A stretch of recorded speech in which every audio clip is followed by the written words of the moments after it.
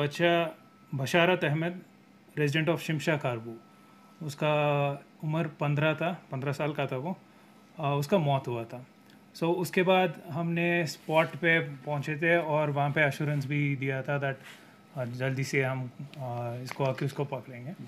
सो so, कल साढ़े छः बजे हमने आ, team headed under Nitin IPS हम आ, इसको अक्यूज़ को पकड़ के लाए थे। उसमें मेन अक्यूज है गोविंदर सर के son of Motilal resident of Nepal. उसका एज है सत्रह साल सो वो नाबालिग बच्चा है।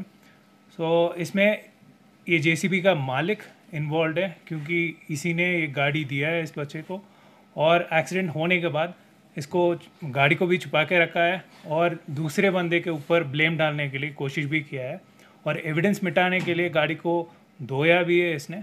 सो so, ये सब देख के हमने अभी इसमें एफआईआर में और सेक्शंस ऐड किया है। Two zero one for trying to erase evidence और इसको हमने ओनर को भी पकड़ के अभी लाया है एंड टू एटी सेवन भी हम इन्वोक कर रहे हैं। सो so, इस केस में हम within a span of ten hours accused को पकड़ लिया है एंड uh, फ़िलहाल the investigation is going on इसमें एफ़ एस एल एविडेंस भी मिला है। जे सी बी से थोड़ा टिश्यू uh, और खून uh, भी मिला है which will be sent for forensics इसमें और भी एक दो चीज़ मैं बताना चाहता हूँ। इसमें कल थोड़ा पुलिस नेग्लिजेंस के बारे में भी बात हो रहा था और इंक्वायरी के बारे में भी मैंने बोला है। सो so, कल साथ साथ इन्वेस्टिगेशन के साथ साथ हमने दूसरा इंक्वायरी भी कर रहे थे। उसमें हमको एक्सीडेंट का एग्जैक्ट टाइमिंग के बारे में भी इंक्वायरी चल रहा था। सो so, एक्सीडेंट हुआ है आठ चालीस से एट फिफ्टी सिक्स के बीच में। क्योंकि हमारे पास दो सीसीटीवी फुटेज मिला है और उसमें वो बच्चे जा रहे हैं और पीछे जेसीबी भी जा रहे हैं। सो so, उसके हिसाब से हमको एक टाइम फ्रेम मिला है। सो so, लोग ज़्यादातर बोल रहे थे आठ बजे एक्सीडेंट हुआ है या आठ दस हुआ है।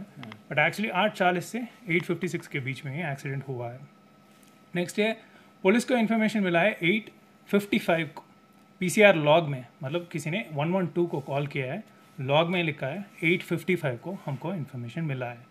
फिर पीसीआर ने आगे ताने को कॉल किया है एट 8:57 फिफ्टी एम फिर first team headed by A S A Gulam Hasan, वहाँ पे पहुँचा है at nine five A M फिर बॉडी को वहाँ पे ऑलमोस्ट नाइन नौ बीस से साढ़े नौ बजे के बीच में वहाँ से निकाला है through the ambulance that was available at that time इसके बीच में जो भी एंबुलेंस का नेग्लिजेंस वो पार्ट डीएम सर अभी इंक्वायरी करवाने के लिए ऑर्डर भी कर दिया.